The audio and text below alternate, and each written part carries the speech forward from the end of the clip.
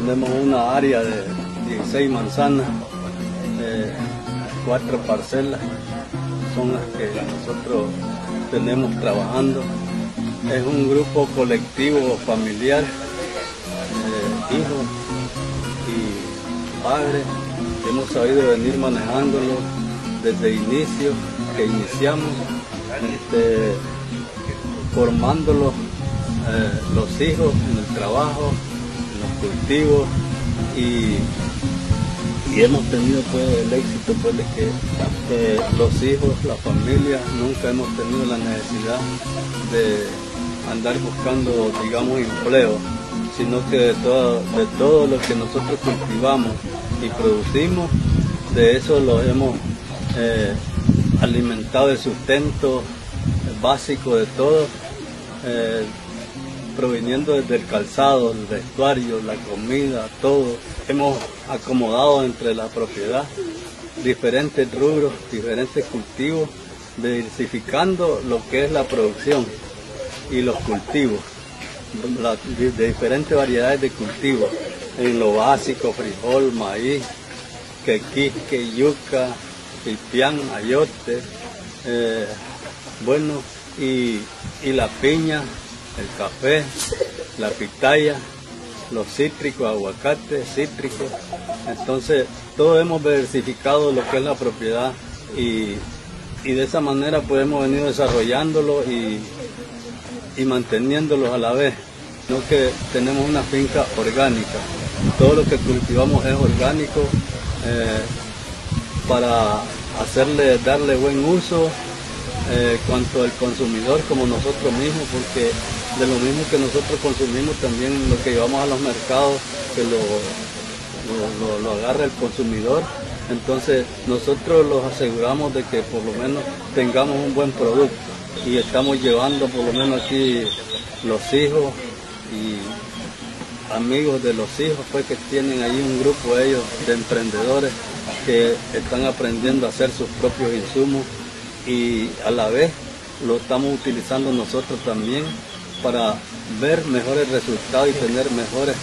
eh, niveles de producción. Tenemos una área de dos manzanas y media de pitaya, donde en esas dos manzanas y media nosotros tenemos este, de diferentes variedades de pitaya. Como tenemos la criolla primero, tenemos la orejona, la verde lisa, tenemos la lisa blanca, tenemos pitaya plátana, tenemos pitaya rosa, tenemos pitaya china de la sin espina, la pitaya dragón que nosotros le, nombramos. Y, y, la cultivamos de esta manera, donde tenemos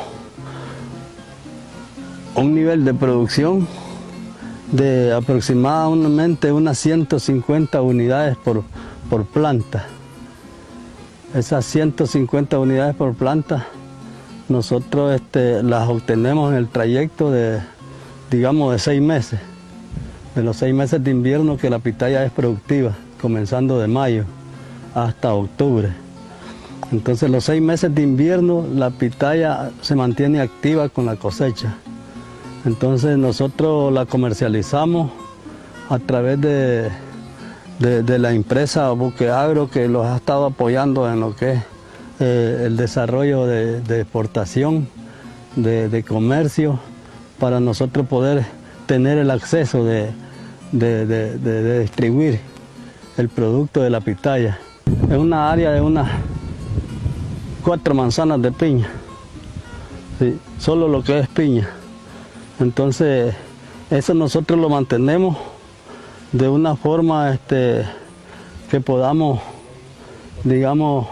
estabilizar lo que son las cosechas. Eh,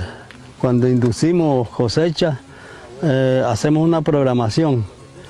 de, de 5 mil, de 10 mil, y así eh, lo llevamos en escala para tener producción en todos los meses, en todos los meses que tengamos producción de piña porque si nosotros no la programamos la piña, entonces ella se pare natural y toda hay a un solo tiempo, entonces ahí es donde vienen las pérdidas, porque se, ella se, se reproduce en cantidad y, y no podemos controlar el mercado enseguida. Entonces, pero cuando nosotros este, la programamos, nosotros llevamos esa programación y podemos ir sacando mes a mes en intervalos de días. Bueno, aquí estamos en una área de café. Eh,